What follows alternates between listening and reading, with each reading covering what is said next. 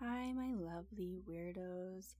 Welcome back to another episode of Dark Crossroads.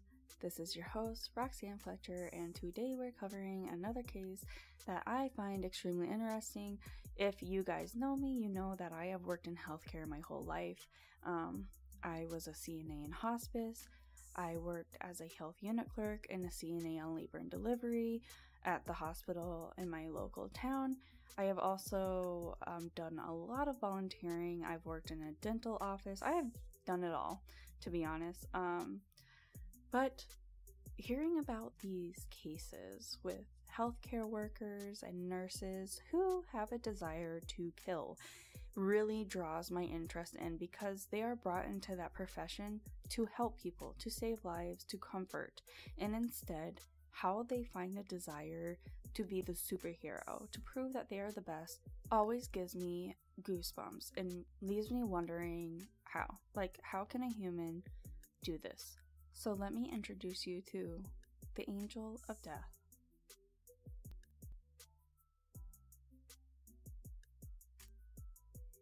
United States military veterans are highly respected and are responsible for safeguarding our country.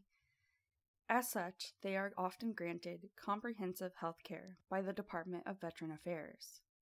In the early 90s, the death rate at the Veteran Affairs Medical Center in Northampton, Massachusetts seemed to surge without any explanation. A nurse named Kristen Gilbert was the nurse on duty for so many of the fatalities that her coworkers named her the Angel of Death.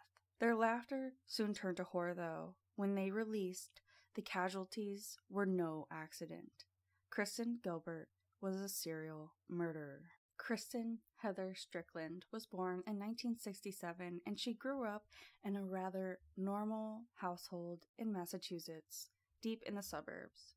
Former neighbor John Moore told the Boston Globe after her arrest that as a youngster she seemed decent and normal. She was very intelligent and sharp. She excelled at school and was a member of the math club.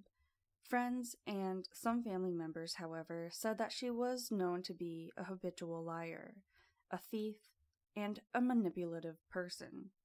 According to the Associated Press, while a student at Bridgewater State College, she was ordered to receive psychiatric treatment after faking a suicide attempt and telling her ex boyfriend that she had eaten glass to try to kill herself.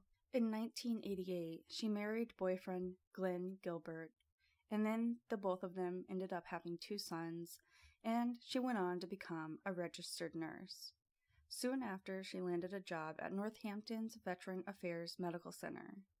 She was well liked by her coworkers who remember her organizing the yearly Secret Santa for staff and gift drives for disadvantaged families. One of her coworkers was a Persian Gulf War veteran named James. He was a police officer at the hospital. By 1995, casual flirting between Kristen and James had blossomed into a full on extramarital affair. Coworkers were taken aback by the couple's unprofessional public displays of affection. According to the Boston Globe again, they were observed playing footsie and touching during emergency operations.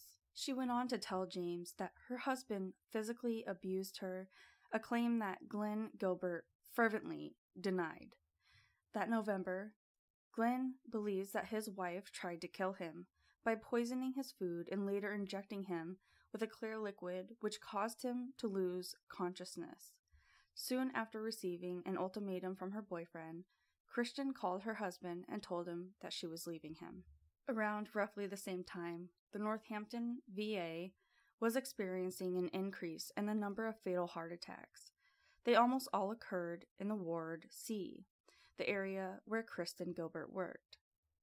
Prosecutors would later determine that in the seven years that she worked at this hospital, Kristen had been on duty for almost half of the 350 deaths that occurred in Ward C, a coincidence that was almost statistically impossible. Nurses had caught on to a on-site shortage of epinephrine, a synthetic form of adrenaline, which can save lives when administered to someone having a heart attack, but is also fatal if improperly used. the drug also leaves little trace in somebody's body after it has been used. A formal inquiry was begun in February of 1996 after three nurses reported their suspicions of Kristen Gilbert's involvement in the deaths of Kenneth Cutting, 41 years old, and Edward Skwira, 69. During this investigation, Kristen quit her nursing job and ended up collecting workers' compensation due to an alleged shoulder injury. Her relationship with James, the security officer, at this point was fizzling out, and in July of 1996, she was institutionalized after another suicide attempt. She later called James from the psychiatric ward and told him, You know, I did it. I did it. You wanted to know, and yeah, I killed those guys. After being released and upon learning that James was cooperating with investigators, she called in a bomb threat at the Northampton VA. Because of this, she was arrested and was sentenced to 15 months in jail. Kristen went on trial in November of 2000 for the deaths of the two men that she was accused of, and also two others, and also for three counts of attempted murder. Though Massachusetts abolished capital punishment in 1984, prosecutors were allowed to seek the death penalty since the crimes occurred on federal property. In their opening statement during the trial, the prosecution stated that Kristen would kill her victims in order to show off her nursing skills. And they stated that she would also do this to impress James, the security guard that she was having the affair with. They said that she would do this because when an emergency would happen, he would be called in in any emergency situation. She allegedly liked the thrill of medical emergencies. In the case of Kenneth Cutting's death, they claimed that she killed him simply to leave her shift early and meet James for a dinner date.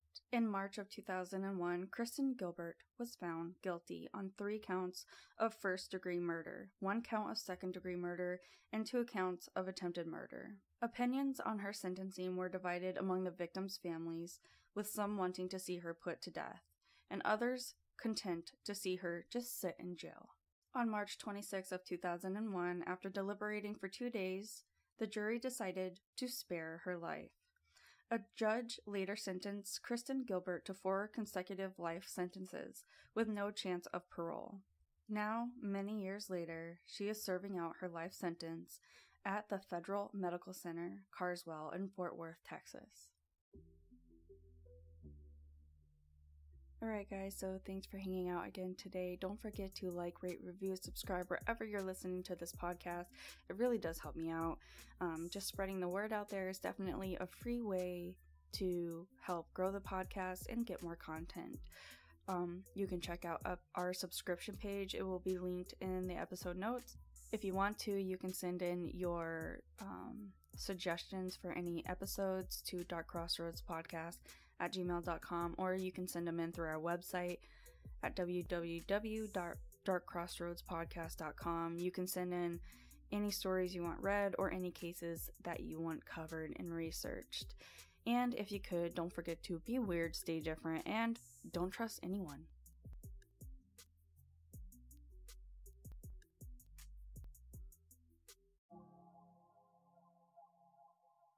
Dark Crossroads podcast is brought to you by Problem Wildlife.